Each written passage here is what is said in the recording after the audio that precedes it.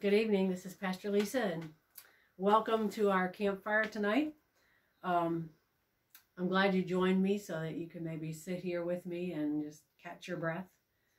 Tonight, we're going to talk about catching our breath in times of fear. So, our first quote is by Judy Blume. She said, Each of us must confront our own fears, must come face to face with them. How we handle our fears will determine where we go with the rest of our lives. To experience the adventure or to be limited by the fear of it.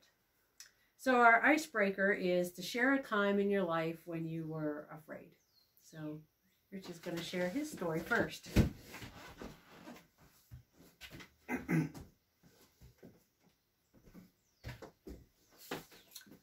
There are several times I've been afraid. Um, the day I got married, I was scared to death. Um, the night the circus burned down, I was scared to death.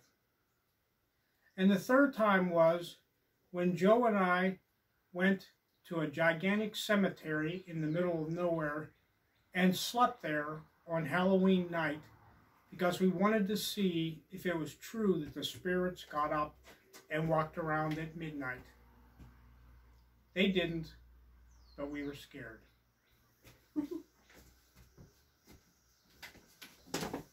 Thanks, Rich.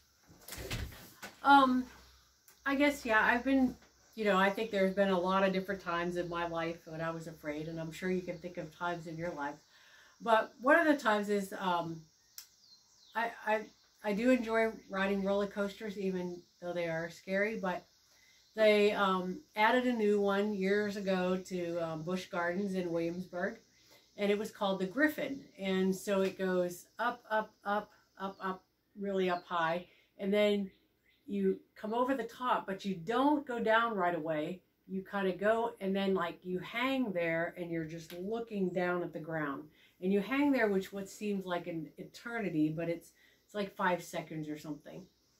So um, we went. Um, some of the youth from the church went on um, with me, and one day, and we were riding the Griffon and um, and one of the young ladies as we were going up and up she says oh miss lisa she said you know um, she said as we're going up she says i'm just praying praying because she said that the closer we get we're getting closer to heaven and um, it definitely riding a roller coaster was definitely very faith filled for her and when you came and you just were hanging there looking down um, you just wanted to scream and then when you they actually let you go and you just go you know, I, I screamed, except my screams are like this. Nothing ever really came out, but it was, I was screaming in my head. Um, you know, some people scream very loud, but me, nothing comes out. But I try. Um, but it's there. Um, but that was really scary. But of course, I wrote it again and again, right? Um, and every time it's, you could say it wasn't as scary, but probably not as scary as the first time because you knew what to expect, but it still was scary. So um, tonight we're going to read a time when the disciples were scared. It's found in the Gospel of John 20, um, 19 to 22. It was late that Sunday evening, and the disciples were gathered together behind locked doors because they were afraid of the Jewish authorities. Then Jesus came and stood among them. Peace be with you, he said. After saying this, he showed them his hands and his side. The disciples were filled with joy from seeing Jesus. Jesus said to them again, Peace be with you. As the Father has sent me, so I send you. And then he breathed on them and said, Receive the Holy Spirit. So as we think about this, you know, what were the disciples afraid of? Um, John says they were afraid of the Jewish authorities. And we think about that and maybe it's kind of hard for us to kind of to grasp, but you know, Jesus had just been crucified. And um and they had put placed him in the tomb. And that morning, yeah, they um Mary had seen Jesus. Um, Peter and John had seen the empty tomb. So Jesus was alive.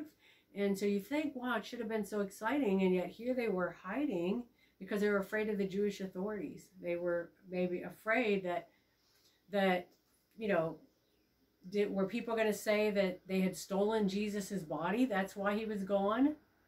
Um, and they would come after them and take them away and torture them or beat them and try to get them to confess that they had stolen his body to prove that he had rose again. Um, were they, you know, or were they simply just afraid? Just was a time of turmoil and not sure, you know, would they start coming after Jesus's followers? Um, but I think that they were afraid that because Jesus had rose again, that people would accuse them because there were already stories, you know, kind of that Jesus's body had been stolen. Um, but I wonder if, you know, if they were scared of other things too. Maybe just what what did this mean now that Jesus had rose again? You know, what would what did the future what was the future going to look like? Just a lot of unknowns that maybe they were afraid of too. Um, it says how how was the disciples' fear affecting them? Well, they were staying locked behind, um, in behind locked doors. Not just doors, but locked doors. You know, so it was a real fear that was causing them to stay in, to stay together, and not go out and share with anybody. Of course, Jesus had told them to wait there for them, but they were waiting there, not rejoicing, which you would think, hey, Jesus is alive. They, they have a big party waiting for Jesus to come as he said he was going to, but they were sitting together in fear, afraid. So, what help did Jesus offer? He offered his peace. And how often in times of fear do we need that peace? Because our fear can just disable us like it did the disciples and keep us from enjoying something good like it did the disciples. And so that peace of Jesus is a big offer and a big help. So, how does Jesus help us catch our breath when we're afraid? Well, I think Jesus helps us and gives us strength to face our fears, um, offers us peace to maybe clear our minds, to maybe find ways to, to deal with the things that we're afraid of. Um, whether, you know, sometimes we're afraid of a certain situation and um, and so Jesus can help us to find a way through that and give us strength to keep, you know, marching forward.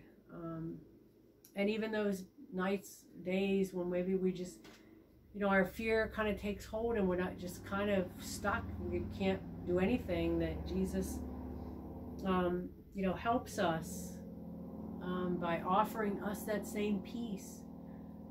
Um, and he says, you know, he breathed on them to receive the Holy Spirit, to know that Jesus' Spirit is living within us and that we're not alone, I think is a great help in our fears. So think about this week where in your life Christ is saying, Peace be with you. I, I think it, for me personally, as I look at the Delta virus, um, you know, I think there's a lot of uncertainty and maybe even some fears um, within me as I think about it. And I think I really need to hear Jesus' words for peace to be within me and to know that Jesus' Spirit's in me and will offer me peace during times of uncertainty. Um, so this week, be mindful of the times when you feel afraid and be aware of how it affects you physically, mentally, emotionally.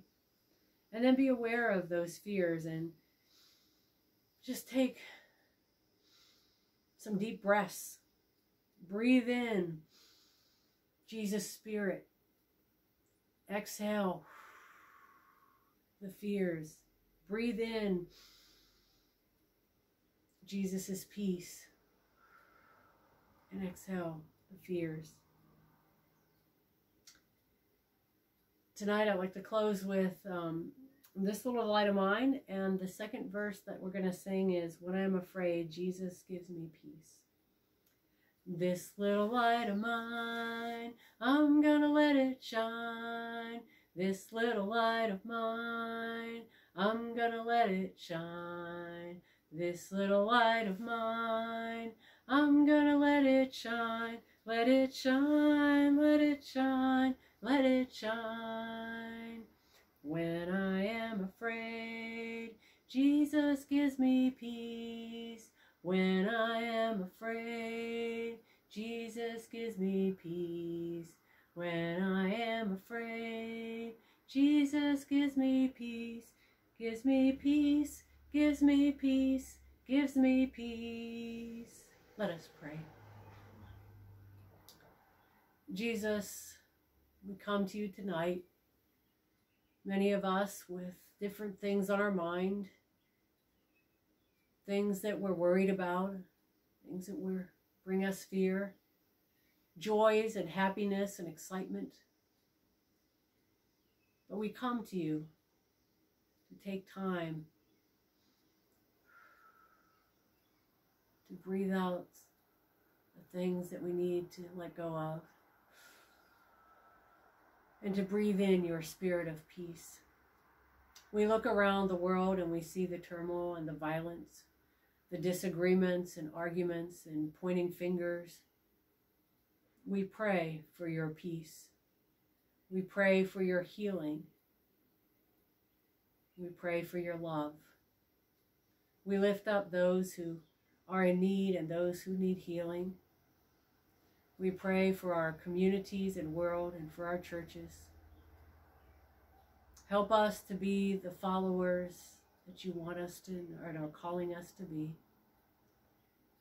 And help us this night, this week, to breathe in your peace and know that you are with us.